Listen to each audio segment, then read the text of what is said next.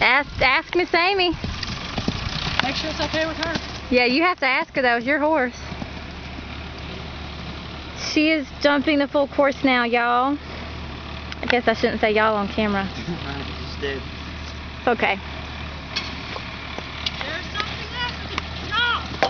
Whoa, baby. She's jumping in a bareback pad, ladies and gentlemen. She could have just died.